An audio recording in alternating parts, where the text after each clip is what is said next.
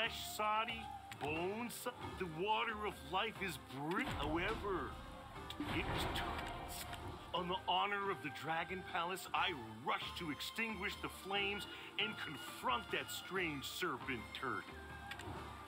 Yes, the serpent. But then, when it opened its mouth, swear on my shell, it said, Mr. Turt, it is me, Bari. Mr. Turt, I've only a little time left.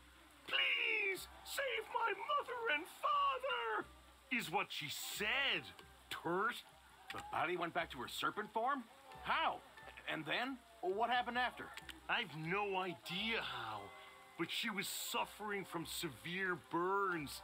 And even her last words are still uh, sh- to have returned in you... this. Ah, Aha. I swear it, Turt. I saw him with my